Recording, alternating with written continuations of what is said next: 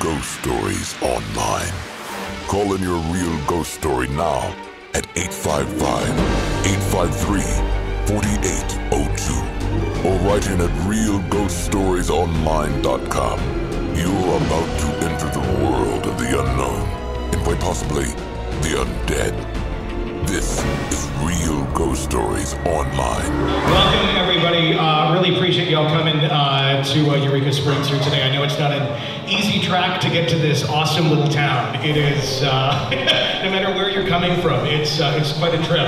And uh, I really appreciate uh, everybody being here.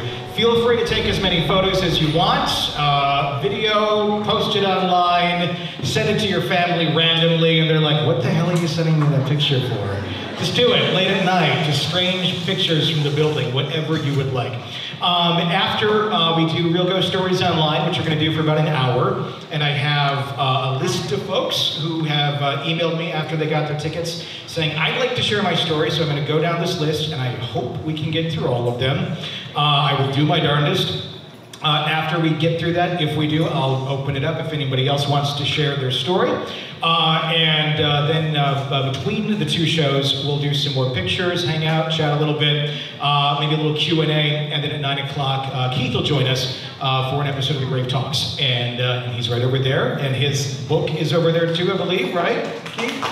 So be sure to check that out and we will learn the history of this awesome place called the Crescent Hotel and all of its ghosts. I'm, I'm very excited. So uh, I have no sound effects to play or any screams or weird noises. I guess we could do that. Yeah. Just look at us and go, ah! We could be like the show, just in the background, somebody has to do a really low hum. It's like, yeah, the acapella. That's okay, Jen. I got you. I can do it. Okay. I'll do the humming do a hum. stuff. And then Tony will still randomly say Michael McDonald's. It's kind of like Tourette's. Okay, okay. Yeah, just randomly. Yeah, so. All right, well, this is the chair uh, for whoever is going to be coming up and sharing their story. So when we uh, call you up, coming up, I got a microphone right here for you. And uh, just uh, so you know, when you talk to the mic, be kind of close. Uh, Turn it on. be kind of close. There we go. Be kind of close, like that, and uh, you'll be able to be picked up on the mic so everyone can hear you. So we can sit down, get comfy. Beverages back there. Make sure you uh, get stocked up and uh, enjoy. Uh, our first individual to come up and share their story with us tonight, Stacy. Come on down. Hey! Don't hide. You're getting ready to be on stage. They can all see you. She's had like four bourbons already. She's she's. I need more liquid She's courage. good to go.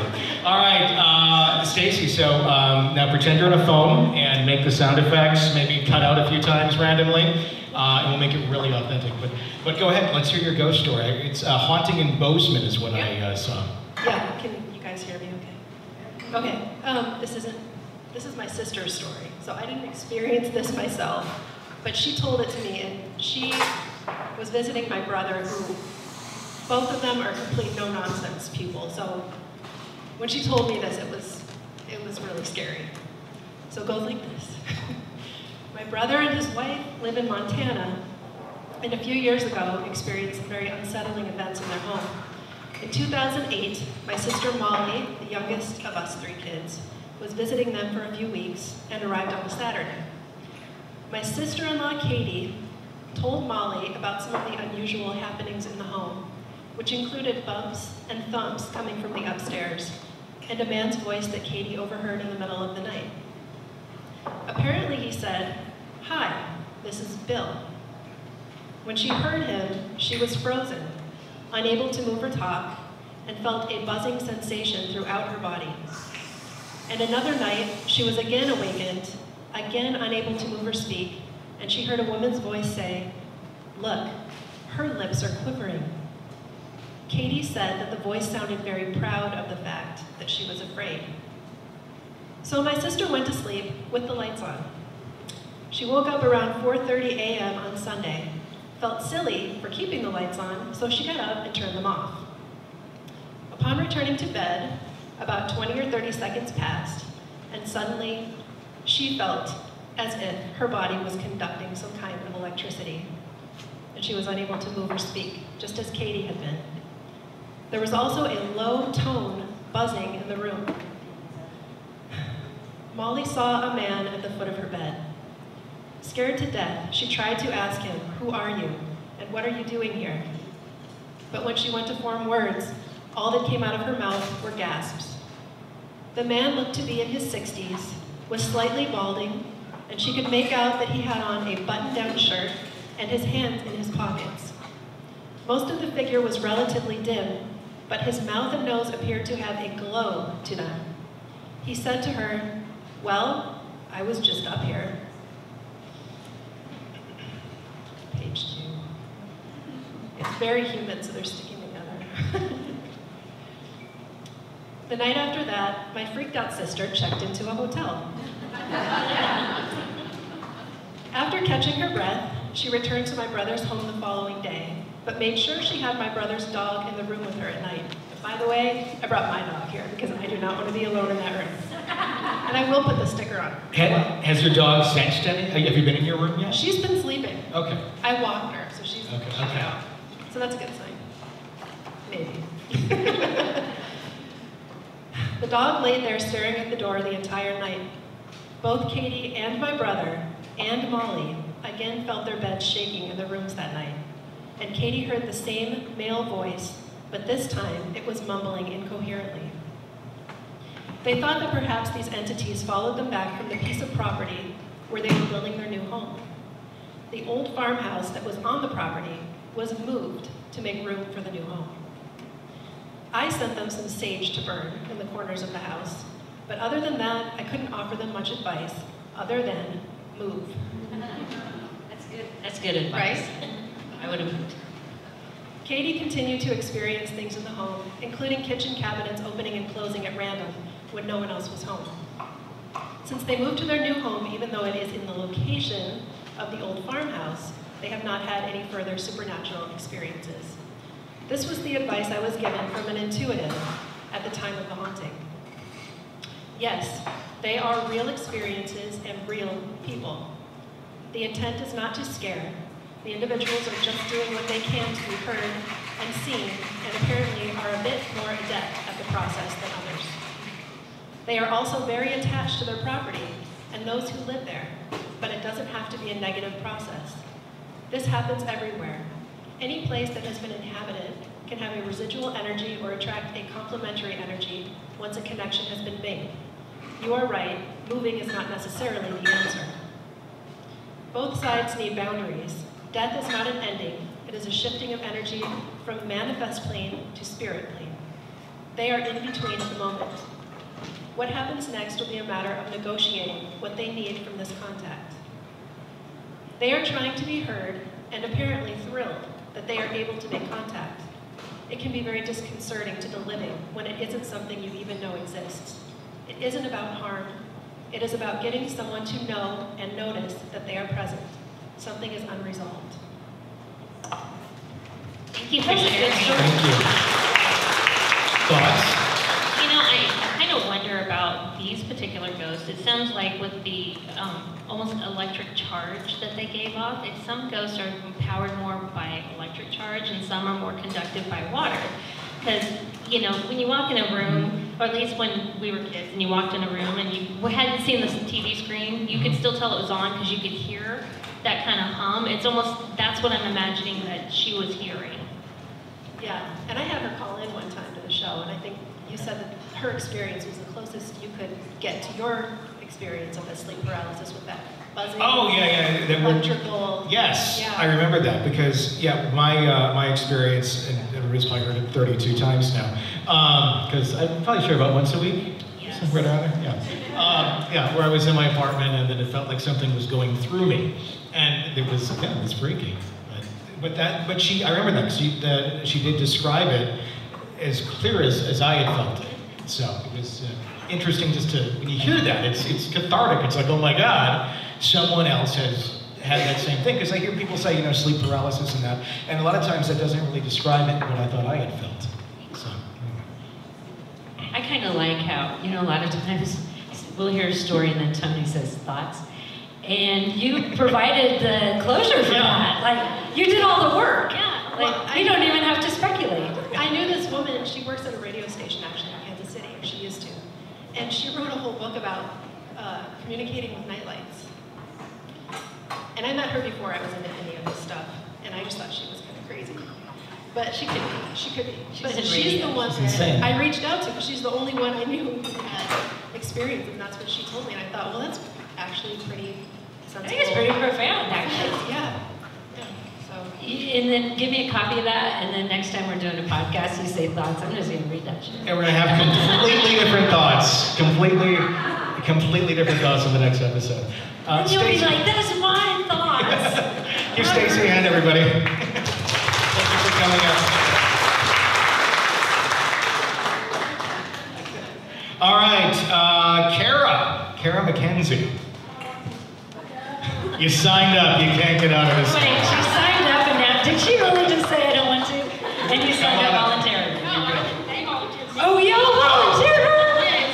Oh, that's Here you go. It's your hazing, I guess. That was mean of them. They're not your friends. They're not. No, they're my family. That makes me That's that's worse. Exactly. It's even more of a nightmare right there. Yeah. All right. Uh, freaky figure is what you said. So let's hear it. What happened? Okay, so I'm a huge like UT fan, and my stepdad is not. And his mom passed away probably like four years ago, so he gives me this piggy bank thing that she made. It's like a UT football player. And so I put it in my room, and I was like, okay, thanks, you know, whatever. Well, when he gave it to me, every night at 3 a.m., it would wake me up. I'd say it, I don't know what would. I would just wake up out of a dead sleep, and then like I couldn't go back to sleep. And so I told my mom about it, and she was like, oh, it's nothing. So I let her put it in her room, and she woke up every day at 3 in the morning. And so I told her, I was like, we gotta get rid of this thing. Like, I, we gotta get rid of it. And so she put it outside in the car one night before she could take it back to my stepdad. And the dogs barked all night long at that thing. Like, I don't even know what it was. So then I have a friend who's like really big into crystals and all this stuff. So she's like, bring it over. We're gonna we're gonna play with the Ouija board, which is something I do not. Oh, that's just a stupid idea. I say that all the time. It's almost Ouija Awareness Month. Yes. Yes. And so I, I was like, whatever. Never even played with one. I was like, okay, whatever. So I thought she was messing with me the whole time. And so she's asking me questions. It's not doing anything. So then she's like, well, what's your name? And it spells out Linda. I was like, okay, like Amber, you're playing a joke on me. I didn't even know that his, what his mom's name was, and it was Linda. And she doesn't even know him, so I don't know how we would have got that answer. But like I said, I don't know anything about it, so we didn't close out the board, and we, I went home. Everyone died. Oh. like whatever. She went home and like I went home, to bed, and she called me the next morning and she was like freaking out. She was like, I had the weirdest dreams all night long. She was like, something was waking me up and it was like pulling me off the bed in my dream. And she was like, it, she was like, it was probably just I freaked myself out. And then she had like two handprint bruises on her legs. Like I have the picture on her ankles. Like it looks like somebody had grabbed her that night. So I guess that was my bad Ouija board experience, and I will never touch one again because I just thought they were just like a joke. I was just like, We're glad "Yeah." you learned your lesson. Yeah, yeah, absolutely. So once my stepdad took it back, it's been nothing. Like I sleep like a baby. It doesn't bother me at all. I think she just wanted to go home, if I'm being honest. Like I think she just wanted to go back where she came from. And this all started when it was a bank. It was like a piggy A bank. piggy bank. Like a ceramic piggy bank. And you refer to it as a she wanted to Well, go. his mom made it, and she Okay. passed away. And so he gave it to me. What did it look like? It was just like this little football player. And it was like hand painted, like she made it in like the 60s. It was just like, just this just, little it just, it just kind of cracks me up a haunted little piggy Yeah, bank. exactly. So So when you get from like the University of Texas. I told everybody about it, and they're like, "You're no, like that. You're making it up." I'm like, "No." Like it started when I got it, and it, when it left, it didn't bother me anymore. And then her family members, don't ever let her get that damn Ouija board out again. Like seriously. No, they told me to. They're like, "Uh, you're not supposed to like, you don't mess with that." I was like, "I don't know anything about them. Like I just thought it was like, okay, like it's a joke, but I guess it's not." I learned my lesson. Do you think it, it, that, that things like that, where you have a, uh, it's like it was initiated with this this bank, this pre Ouija board time, that when you then go and use the Ouija board, that that can like essentially say, oh yes, it's like turning it on. It's like you know the product is there, and then it's like putting batteries in it. just having the piggy bank is like it's plugged in and you hit the power button with the Ouija board. Yeah, exactly. Maybe. Um, you know, I'm, I'm just hoping that what came through was really what was going on with the, the bank. Because you said it all went away when you got rid of the bank. When he took it back home to his mom's house, never again. Did not, like I sleep like a baby. That's good. Yeah. That's lucky. Yeah, but the Ouija board like came from like she bought it from Walmart and everything. Like I was just being like, really like it's not a big deal. Like she doesn't even know. And, The Walmart ones are the worst. it's like, I was You like, gotta get it at Target. I mean, those are the Right. ones. You want to get some real creepy shit going I thought on. maybe if it was like an old one, like you know, that's like super old or something. But like this was like brand new. Like nobody had ever messed with it. We did not even know what we were doing.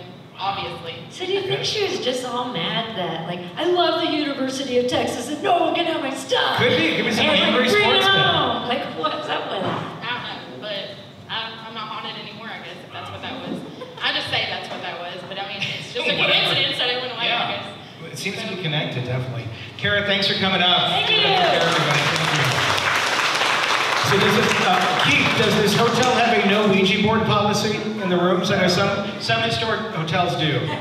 No Ouija boards. All right, so sorry if you brought your Ouija boards. No using them tonight, everybody. We used to sell them in a gift store and we stopped. Thank you. That's a really good decision. Good idea. I was going to ask this earlier, but I forgot. I'm curious. Uh, where everybody is from, who, who thinks they're furthest away? Raise your hand, and we'll just kind of.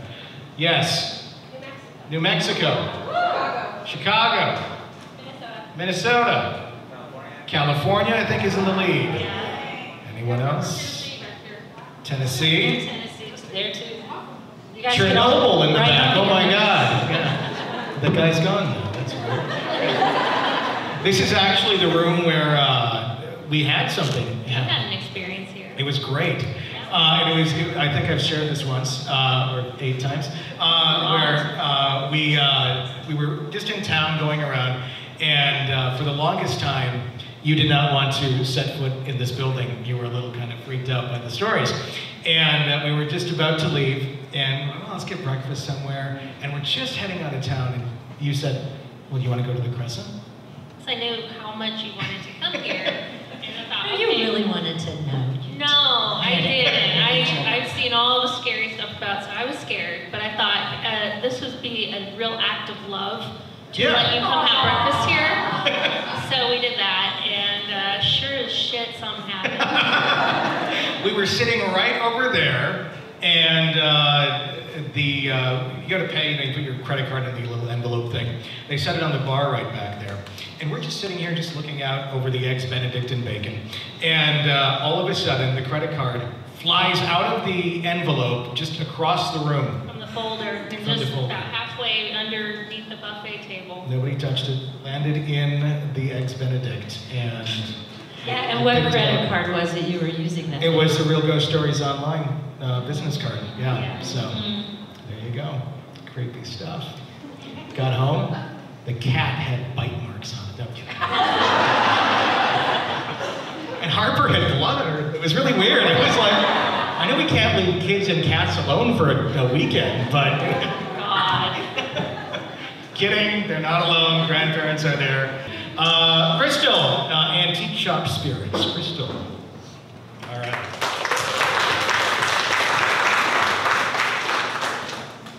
Here you go. Hi. So, Hi. Antique Shop Spirits. Yeah. Let's uh, hear it. Okay, so I live in Chicago, but my friend owns an antique store here in Arkansas, not too far away. It shall remain unnamed, but you can't throw a dead cat out the car without hitting an antique shop, so not anonymity isn't a problem. Excuse me. Um, okay, so um, most of the activity has been associated, she thinks, with items because it kind of comes and goes. Uh, so just out of the blue, uh, after she moved into her shop, she was having some activity. Um, so one night she was at, in the office late doing payroll, and the printer just started spitting out a bunch of blank pieces of paper, and then on like the very last page of 20, there was just like a little smiley face. It's creepy. Um, but she didn't get like a malevolent vibe from it, and like the water would turn on, she would hear hey, things of that nature. Um, and it went on, I guess, for like a couple weeks, and then uh, one day this lady came in, uh, just a shopper, and she um, bought some stuff and left, and then my friend got an email later, and she, um, from the lady. And the lady said, hey, I hope this isn't weird, but when I was in your store, I got the initials AJ. And she's like, no, that's not weird. Maybe that explains some of the activity that's been going on here. And so then a couple more weeks pass, and my friend, she's, um, um, somebody buys this trunk, and so it's just standard protocol to kind of open up the trunk, make sure there's nothing in there. And when she opens up the trunk, the, the initials AJ are in there, the initials that the lady had said she was picking up on. And then after the trunk was sold, there was no more activity. Um, and it's also in an old upholstery building, so um, like we'll FaceTime and occasionally I'll hear like little hammering like in the ceiling and I'm just glad I'm like removed from that situation. Like I would rather just hear it over video. Is, is she hearing the hammering or is it, are you just picking it up on your end of the FaceTime? No, both. Okay. Yeah, so she'll stop and she'll say, did you hear that? Okay. Yeah, of course. Um, and most of the activity has been pretty um, benign, but there was one set of items that, so the way that the antique store is done is she rents out booths, so she doesn't personally go and pick up items.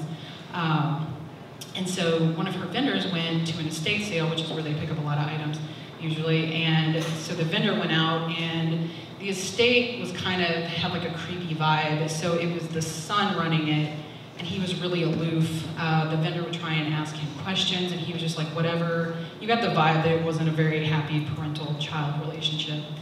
And um, there was a lot of, I guess, things that caught reflections like mirrors and shiny dressers. And when they were loading in the truck, they would catch like flashes of faces, but when they would turn around, there was nothing there. And the son just really wanted to offload it. Well, these items sat, and they were good, they were good stuff, um, but it just sat in this booth, just emanating this nasty vibe. And I don't know how it happened, but uh, one of her friends came by and, I don't know, ascertained that these needed to be cleansed. And so um, she came to the shop, she cleansed the items, and my friend went to give her a hug, and her friend was like, no, I need to, to dump all this nasty energy. And then she just left, and after that cleansing, the item sold. Now you want to find out who bought it and what's going on there. Yeah, definitely. Or I know. Where, where that was, because I hit a lot of antique stores. So she knows what ones not to go to. Yeah. One of them is an old buffet table that I know was bought as like a baby changing table, so that's messed up. Could you repurpose a baby changing table into like a, a coffee table of some sort, or? I, I don't think so. Okay. I mean, you could, because you're talented, but do you want to?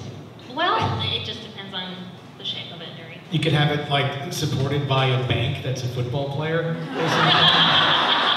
It's gonna be looking all these items I'm gonna be looking out for now. You asked, we went to some antique stores today. and You're like, what are you hunting for? Nothing. But now I got this whole list of stuff. I'm like, look, the bank. so, thank you for coming out. Thank you.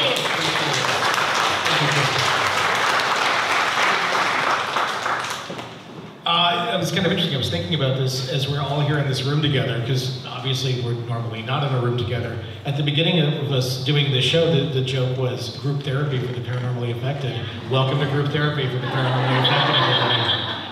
Uh, no judgments at all uh, here. So, uh, Shelley, uh, Haunted Hospital is. Nothing ever goes wrong with haunted hospital stories. Come on down. You're the next contestant. Here you go. Thank you. Um, so this hospital that I worked in, I no longer work there. I left about three months ago, but it's about an hour south of Wichita. Okay. I won't name it, but You can tell me later since I will think tell I you know later. which one. it's almost 100 years old, not quite. I Um, definitely know which one. and a wealthy benefactor left a bunch of money to the town to specifically build this hospital. So that's what they did. And now, um, He's like, Whisper it to me. The, um, the unit where I worked, uh, my office, so- all of the offices up there are old patient rooms. And so there's a bathroom in between each set of rooms. And um, the nurse manager, her office was across the hall from mine, and I kid you not, every single time I was there working late by myself, and they told me this happened, but I don't know, that's not the same as it actually happening. I would walk in that office to get something off the printer or whatever, and the toilet would flush or the water would turn on. And there's no way, I mean, when you walk in the room, you're nowhere near the door of the bathroom. So one night I was there late and I heard it come on and I thought, I'm gonna go ask, you know, so-and-so down the hall, you know, who's still there, she's been in there. And she was like, no, I haven't been in there. And so we walked in there, we stood in front of that sink, I kid you not, five minutes dancing in front of that sensor and we could not get the water to come on, it would not come on. But it came on by itself five minutes before. But the crown jewel of what happened to me was um, one day when we went to do a dressing change uh, in a patient room, which is on the other end of the hospital. And I heard stories about this hospital being haunted. I heard that, like the OB unit, you know, they've seen on third shift, of course, it's the night shift, they've seen like a, a full-bodied apparition walk off the elevator and all kinds of other stories. But um, anyway, so I was, it was me and the nurse manager, and we went to do a dressing change on the floor. So in the room where I was at, I was standing at the kind of at the foot of the bed on the side. The patient's bed is right here. The other nurse was at the foot of the bed, and then the patient's husband was sitting across from me, and then behind me was the door. So I'm just an extra pair of hands, right? I'm not really doing a whole lot, and I'm standing there, and all of a sudden, I, the hair on the back of my neck just stood up. And I have never felt that before. You read it all the time, but I've never felt that. It was like somebody was behind me just barely breathing on my neck.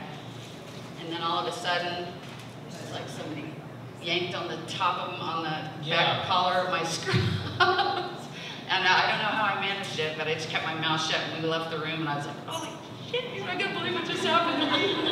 That's a distinct feeling. It's not like, oh, that was an eerie draft or something. No, no, and you almost freeze when that hair stands up. It's like I can't move. yeah, yeah. I, it was it was the first thing that's ever happened to me, and I was like, yay, now I have an experience. Did you say, is this an old building? Is this a new yeah, the whole hospital is really old. You know, and when I was first there, I had opened my office window one day. I mean, you know, in a hospital, I mean, they'll only open this far. They're almost like casement windows. You know, they open like a book. And one day, that thing slammed shut. I mean, hard. And I and I opened it back up and stuck my arm out the window, and I couldn't feel any wind. Yeah. So uh, I don't know. I, I still don't know. I mean, you could say, okay, maybe a breeze came up and Sure. swirled around and slammed it, but I don't know. That place is, yeah, it's full of, yeah. That's always interesting to me about hospitals because you, you know, we don't spend a lot of time in them, you know, for the most part, um, you know, in, in life. So if, if you pass, who is it that is haunting? Is it the people who have passed that are confused and they're wandering around? Uh, is it just, you know, the energy of, you know, those, the living that, that are, you know, going through the grieving process, the stress process? Is it, is that energy causing other things to come in? Often, I've often wondered about like doctors and nurses that love what they did, and then once they're gone, they don't know what to do, so they go back.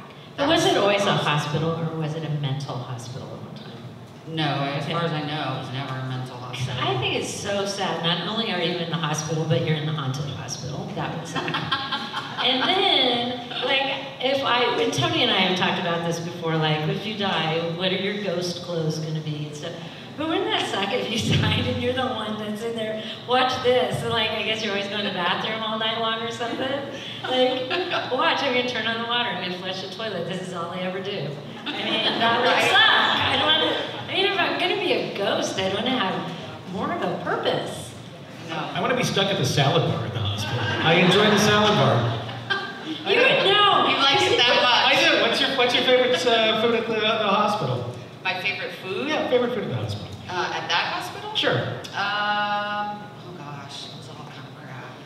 I'm Really? going on a tangent. I, yeah, I would, actually the salad bar was really good. See? So Salad that- bars are good. Honestly, you, you made a good choice. My favorite thing was when I had the my appendix uh, ruptured, and uh, then like the first thing that they bring to me the next morning right after, I'm like just coming out of you know my hazy state, and I'm doing a Facebook Live. Did anybody watch that Facebook Live? I remember, Yeah. no, but I listened to Yeah. it. Yeah, they I'm like like, doing a like Facebook Live. meal.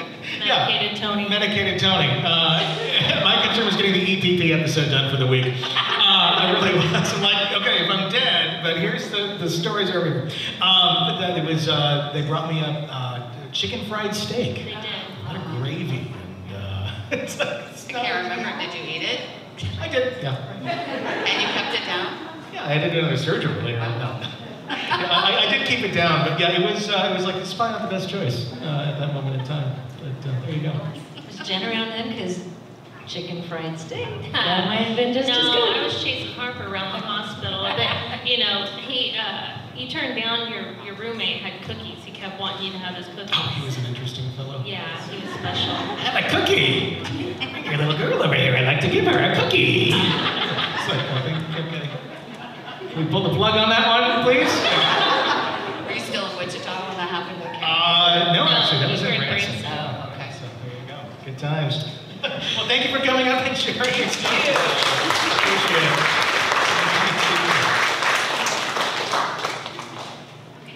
Uh, Maria, the call from beyond. Ooh.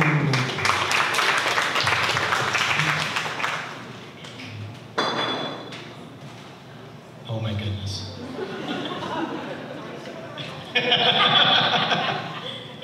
Welcome. Thank you. And we'll give you this mic and let's hear your real ghost story. So I called this in before, but I don't think you ever played it, which is fine. Okay. It might be really bad. Your phone may have cut out. It might So, have. Usually if I don't hear calls because of uh, call had cut out, uh, and a lot of times you don't even realize it uh, because sometimes it's just silent. Uh, just, just note for everyone, if you don't hear it after, I don't know, a handful of weeks, uh, probably the phone call wasn't usable. Uh, not because of your content, but because the audio didn't work. So let's hear it. Okay. Um, so, uh, first of all, I'm here with my mom. Uh, this is her. Hi. And- so my mom's dad, my grandpa, he passed away in 1992, uh, April of 1992, and he died from bone cancer. Um, but before he, um, he'd been really sick for a long time, um, and he'd been seeing this doctor named Dr. Gordon. And uh, Dr. Gordon, uh, he'd go into visit, to, my grandpa would go in to see him, and he would tell him, oh, you just need to uh, exercise more. That's why uh, you, you keep breaking bones, you're not strong enough, you need to exercise more. Um, my grandpa kept breaking bones, and so my mom kept telling him, I think something's wrong, I think you need to get a second opinion, this doesn't seem right. Um, so my grandpa finally went to see another doctor, Dr. Buchanan, and Dr. Buchanan diagnosed him with bone cancer. and so I don't remember how long after um, the diagnosis, but eventually he did die from the bone cancer. And so my mom was really upset. She thought about um, filing a malpractice lawsuit against Dr. Gordon for missing the diagnosis. Um, and then about two years passed by, um, and my dad got the newspaper one morning, and he brought it in and he said, oh, look, uh, on the front page of the newspaper it said, local doctor dies in rock climbing accident in Peru. Um, and it was Dr. Gordon, the one that missed the diagnosis, the bone cancer diagnosis. And so my mom said, oh yeah, that's, that's the doctor that missed Grandpa's diagnosis. Um, and we didn't think much more about it. Um, and then it was about the next day or two days later, um, my mom and I were in her bedroom. She was paying bills or something on the computer, and I was just um, sitting there watching TV, and the phone rang. This was like when caller IDs were still fairly new. Um, and the caller ID said out of area. And so I answered the call, um, and there was a voice on the other end, but it was very staticky and almost like very moany. Um, and he said, this is the doctor for Arthur Garcia. And I said, yes, because my grandpa was already dead like two years at that point. Um, and he just kept repeating, this is the doctor for Arthur Garcia. This is the doctor for Arthur Garcia. And it just kept getting like more and more distant and like staticky and moany. And I think I turned completely white and was just looking at my mom like, and she finally grabbed the phone out of my hand and said, can I help you? And he just kept repeating, this is the doctor for Arthur Garcia. This is the doctor for Arthur Garcia. And finally she asked, what do you want? And he just said, I'm sorry. And the phone went dead. Like, I got the goosebumps doing that. so, yeah, that was it. Did you call the hospital and go, hey, your dead doctor's calling? Is that new? well, actually, my mom's brother is our junior, Arthur Junior. So she called just out of an abundance of, you know, um, what do you call it, caution. We, we called him and was just like, "Is everything okay? You're not in the hospital by any chance?" "No, I'm fine. I'm here." Sure. Yeah. So. That is bizarre. Yeah. That is creepy. See, I assumed the whole story, you had a twist. Yeah. Because I thought it was going to be your grandfather calling, but the doctor calling. So, like, what's that all about? Like, he's just guilty? Like, He's trying to finish up his unfinished business and making it right with your family's probably on that list. but I like to think he felt guilty, and I hope I gave you some peace, you know? Oh, I'm just raising my hand because I remember that story. It is- It is on Oh, the episode. Oh, okay. And I'm I a. I just, right when you started talking about it, I was like, oh, I for sure heard that story, and I even told my fiance, I was like, he said I'm sorry. You, Like you all have so much better memory than I do. It's great. Everything is new to me every day. yeah. it's wonderful. Awesome. Lots to find it now. I called in like October of last year. Okay. Yeah. Well, thank you for sharing the story. Really That a great story. That would be creepy. I, I, did you ever, I, at the moment, I don't know that you would do this because it's kind of probably overwhelming, but did you ever like try and call the number back or call her ID or? Out of area. Okay, so yeah, then you kind of get And there. that was back then when you actually would pick up a phone call that. Sure. Now I'm like, well, I don't know who that is. I ain't gonna answer that. What was the one where you could like call the number? Was it star 69? Was that? Yeah, which is a weird number to have. Yeah. Why did you call me? Uh, Alex Coleman, Navy Ghosts. Come on down. I think you guys were eating at the restaurant we were at tonight. You were across, yeah. You should have said hi. You're not on display yet. We had some extra slices of pizza. We could have given them to you. You know, it'd be great. yeah. Okay. All right, Alex. Let's hear your story. Okay, um, I was in the Navy from 2001 to 2004, okay. and just for clarity's sake, I'm trans, so I was in as a female, so pronouns don't match up, that's why. Okay. Um, but when I was in boot camp, uh, this is in Great Lakes, and pretty much it's one of the oldest boot camps that they had at the time. And uh, there are a lot of ghost stories around in the basic training, you know, and the RDCs, who are the Navy equivalent of drill sergeants. Love telling them um, because lots of stuff happens. Um, there was a recruit who had, he was the uh, recruits division commander, like, uh, a recruit who was in charge of the other recruits had had some misfortune back at home and had killed himself on his ceremonial sword, you know, the one you do the pass review with. Um, one had, a petty officer had been sleeping with recruits, he got found out, he hung himself. So there's lots, lots of stories. But there was a story about a petty officer in white who would appear in our compartment and I kept trying to chill the other recruits out because, you know, you're away from home from the first time, you're scared, you're on edge. And I know these, you know, the RDCs are just trying to screw with you and freak you out. So I'm like, you know, they're, they're just repeating these stories, you know, there may not be any merit to any of them. They're, uh, they're just trying to screw with you, but the other recruits are still on edge. Um, and especially, there's like, we hear screaming in the night. And I'm like, does it sound like a division getting beat? yeah, you're hearing screams down the pipes. That's another division upstairs. So um, I was pretty much the skeptic of the group, not because I'm, you know, trying to be skeptical, but just trying to chill everybody out. But um, finally, one night I was standing the mid-watch, and I was, you know, armed with my little flashlight, you know, trying to make sure nobody goes into a fit or doing anything they're not supposed to be. And I looked as I'm kind of staring up and down the compartment. It was strange because I was actually perfectly awake. Normally you're, you're groggy, but um, I looked down the compartment and was just really startled because I suddenly realized that there was somebody looking between the racks back at me. And it was a male face. You know, this is a female compartment. Um, but it was very obviously not a living person. It, he was pale, had a very serious, kind of sad, somber expression. Um, looked up like a petty officer in his summer whites, standing between two of the racks. Um, and I kind of froze because, you know, you're taught to, uh, I was torn because I'm like, I'm the watch, I'm supposed to take care of everybody, but like, what do you do at this point, you know? they don't give you a lot of training for that, so. I kind of stood there for a moment like, I think I should do something, um, but then he was just gone. and I, uh, I did a quick sweep, kind of looked under the rack to see, you know, okay, no retreating feet.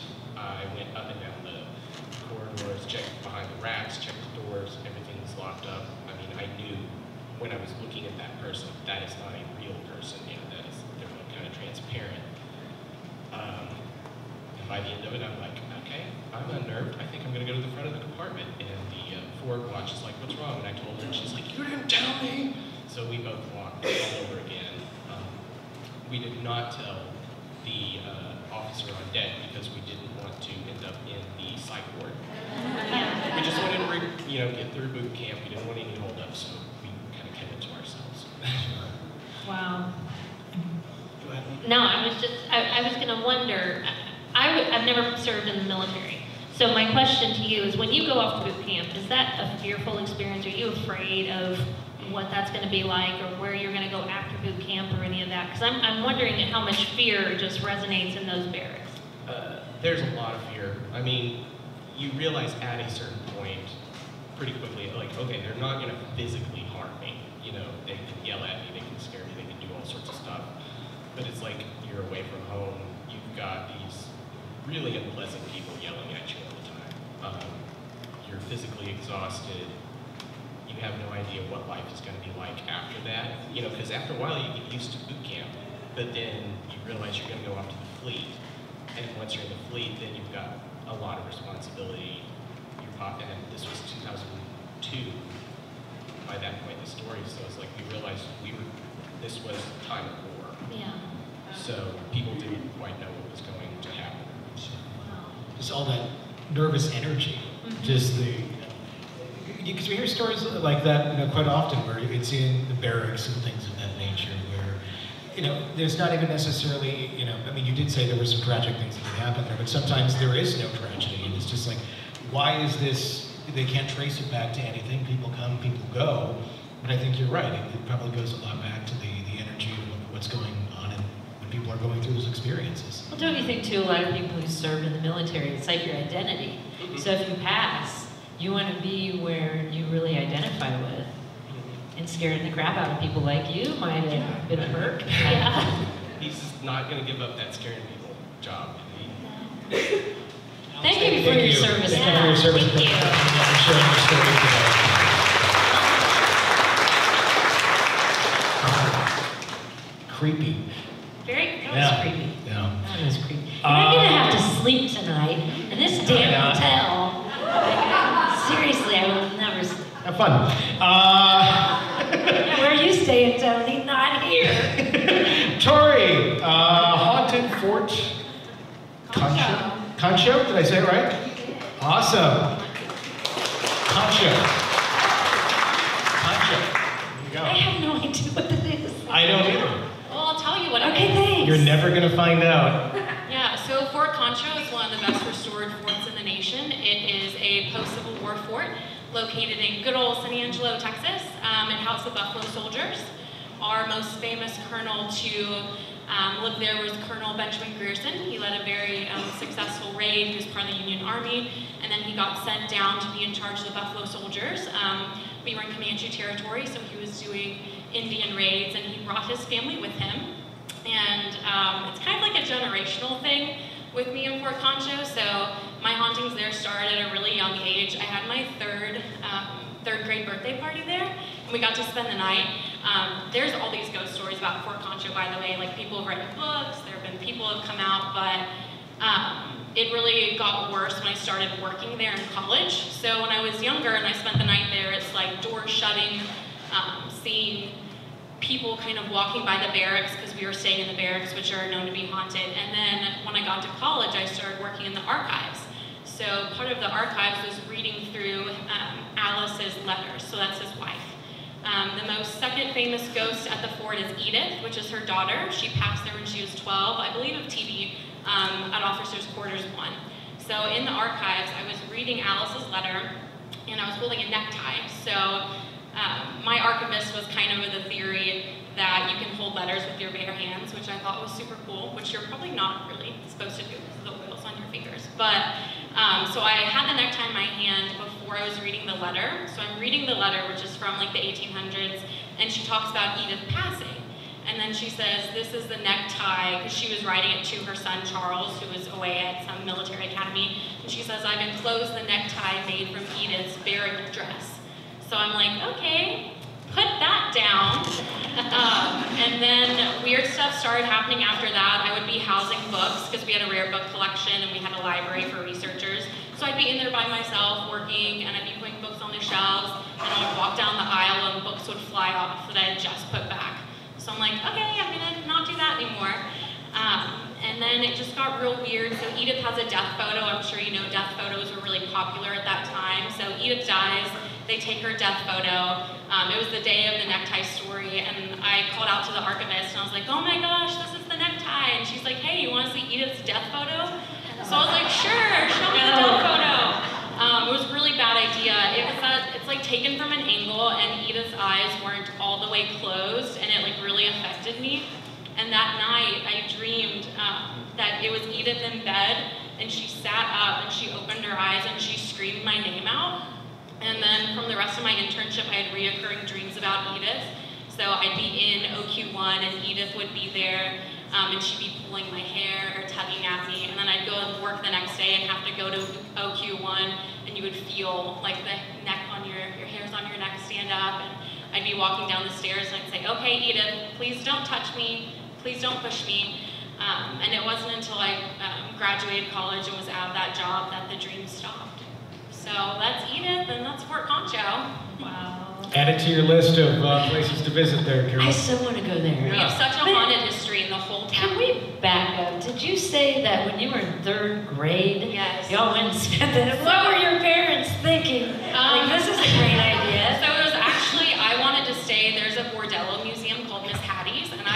I wanted to stay Of course you the haunted were. but they said no, it's not appropriate.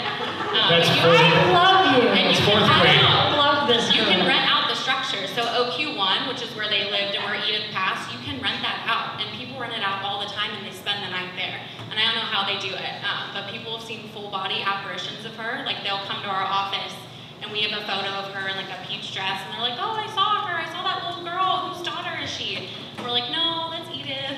and she died like 100 years ago. But it's crazy. She'll talk to people. It's it's the weirdest thing, and it's been consistently going on like since she passed. So it's a great, great tour. If you ever want to visit haunted San Angelo, go to the fort, go to Miss Hattie's because that's haunted too. Um, yeah, we're, we're a fun little Wild West town. That's like your Titanic to us.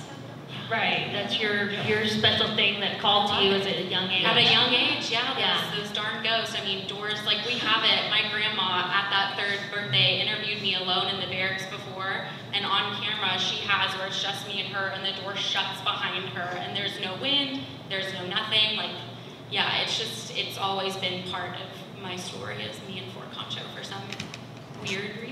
That's awesome. That's cool. Yeah, it's really cool to have that. Yeah, because we, we're kind of obsessed with Titanic. Yeah, yeah. It, it's something that calls you. Everybody has that one thing, you know, and it, it could be a fort, you know, and that's kind of an unusual place for a little girl to have her birthday party, but I get it. I totally get it. It Your daughter is priority. so gonna ask for something like that in the third You know, what my grade. daughter Harper she will. share what Harper wants. A limo and a pizza party. That's all she wants. She doesn't want a party. She just wants the four of us to ride around a limo with a pizza in a limo. pizza. Yeah. Because she saw it on Home Alone 2.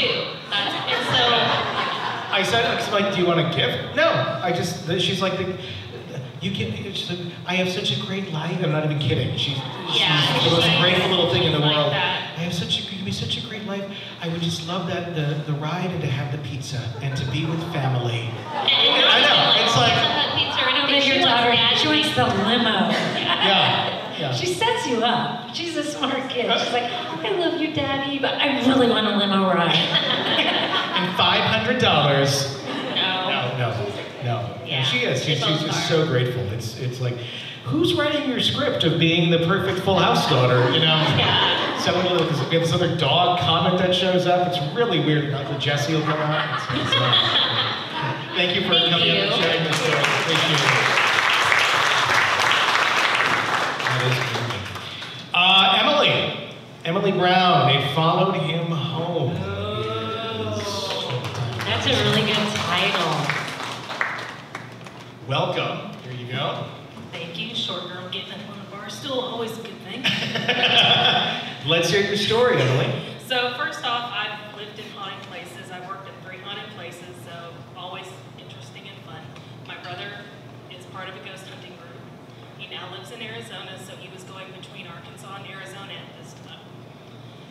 So he returned home shortly after our mother had passed. And the last thing that he did before he got on the plane was he and his ghost hunting group went to Jerome, Arizona. Always a good place to go. The girl from Arizona is like, oh yeah, Yeah, that's a good place. yeah, yeah. Definitely not on my to-do list. Well, he gets home, he's like, you know what, I'm going out with friends. Have fun. I'm home alone, it's me and the dog, that's it. And I'm in my office working because I was on deadline. Well, I'm just staring at the computer trying to get some writing done and my dog, who is the quietest dog in the world, never barked, never growled, nothing, just starts growling. That low and the throat guttural growl that big dogs do, yeah. Looking at this dog, what the hell are you doing? And then she gets up, looks around the office, and then gets to the doorway, and she looks out toward the living room and just starts barking. Like somebody's in my house barking. Ruff on the back of her collar was up. Okay. So I get up and I'm looking. There's nothing there. All right. So I walk out into the living room. As soon as I get out into the living room, I hear this deep, malevolent laugh. And I'm like, okay, this is unusual even for me. Flip on the light, and I'm like, there's nothing here. Well, you can hear, you can kind of judge distance by the sound. This laugh came from the, the, the ceiling of the house. And I'm looking around, and as I'm looking, the air kind of gets denser and denser and denser. And there's nothing there, but it's almost like this, you can almost see like a mirage where the air is just real dense, you can almost touch it. There was nothing there. I'm like, this is not your house, you need to leave. Well, it laughs again, and I'm like, this is bullshit, I don't have time for this. so I turn around, trying not to run, get back into the office, and I'm like, I'm not moving for the rest of the night. Well, the dog lays at the threshold and does not move for like three hours. By this time, I'm ready to get out of this office. Well, she finally hops up onto the sofa behind me and falls asleep, and like this energy that had kind of like just wafted in slowly dissipated. Told my brother this. Let's just say smudging was definitely the first thing on the list. So I told him he was not allowed back to the house until he's been smudged from now on. But that was, nothing happened after that, but when it was happening, it sure scared the piss out of me. Every time you come to some, have you smudged? right? It's like, do I need to get out the holy water now? It's like when they go into like one of those rooms like that, like the dust free, and you have to whatever it is, where they decontaminate you. Static-free room? Yeah, it's like you smudge your way in. But it, it, was gone. It, it just, it just, apparently it just wanted to freak me out. and I was like, oh my god, I don't have time for this. Wow. I wish I was like that.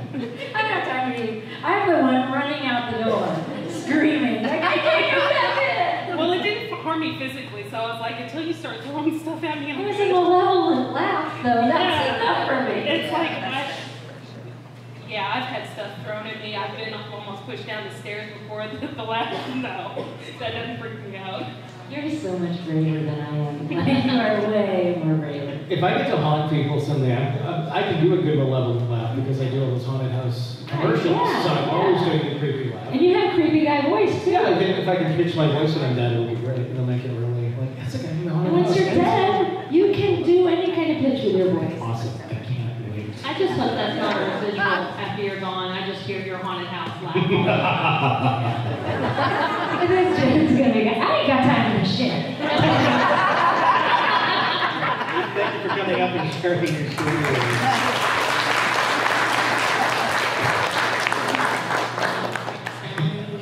Ladon, haunted hospital room.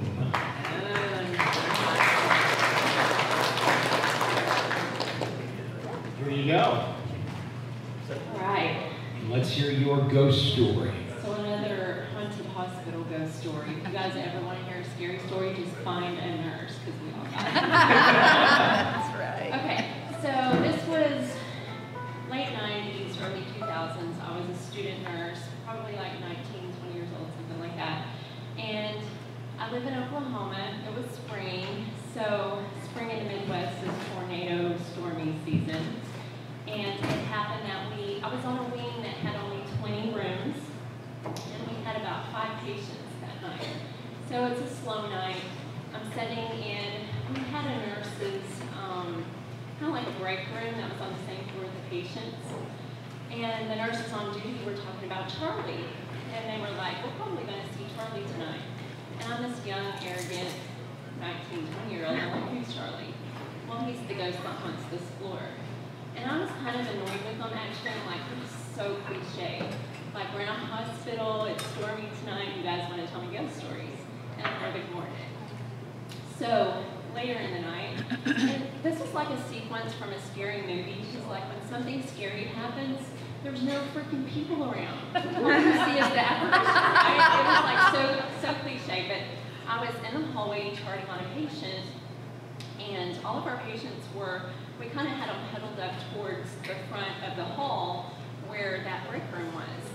Um, but in my peripheral vision, I see like a body come out into the hallway. So I'm charting, and I see this this figure getting closer to me. So I kind of turn and I look, and it's a figure of a patient in a hospital gown. So I'm thinking in my mind, what in the world? Like I know there's not any patients down there. I keep charting, and the apparition starts moving closer to me. And at this point, I'm kind of freaking out. I'm thinking about the stories they were telling me. So I finish my charting rather quickly, and I run, I run and hide in that break room. And so I'm kind of like peeping around the corner to see what's going to happen. And sure enough, this patient's, like this apparition, goes past the doorway. So I just kind of stand there and I wait quietly. And when he passes the doorway, I step out and I kind of peek around the corner. And he goes to the end of the hall and he stops for a moment and then he makes a left-hand turn and, and proceeds down the next hallway. So for those of you who've never worked in a hospital, there is no way a hospital is going to let a patient walk alone because that's a liability. You have a therapist or you have a nurse ambulating patients down the hall. So I kind of let it go and I get busy. Later in the night, the nurses come back to the break room and they sit down. And I was like, um, do you guys have a patient in hall or in room 217? And they looked at me funny and they were like, let's take a trip down to room 217. So they took me down there and flipped the light on. The bed is made, like it's perfectly clean. There has been no patient in that room and they said, you saw Charlie. So that was pretty creepy. Was Charlie known to come out of that room? He was known to come out of the room. So, you know, earlier in the conversation, I was kind of ignoring them. That was actually the haunted room they were referring to. Ah, So we did see Charlie that night. That's crazy. The hall that we turned down was a salad bar at the end of that. Might have No. Might have been. No. I also am concerned because I remember they let me walk around the hospital by myself. It was because it was funny. Was. I knew that. Showing it off. And uh, that's interesting. Thank you for sharing your story. Thank you. It's a creepy. Thank you so much.